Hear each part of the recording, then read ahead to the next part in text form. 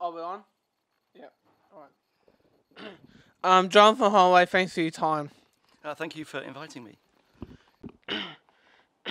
Um, do the audience like find it funny, like your comedy shows?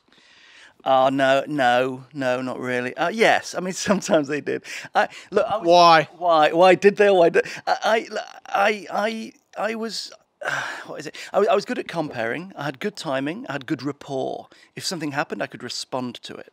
Um, I mean, if in, in an audience, if you'd have been there with, with your beard, that would have been like my dream. That was exactly what I dreamt of to get that moment of because it's a, just a cracking beard and so much material in it.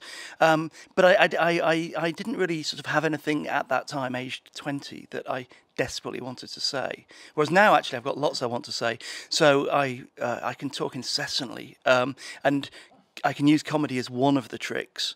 Um, but the comedy for me is only important if there's also a passion and a story and a belief.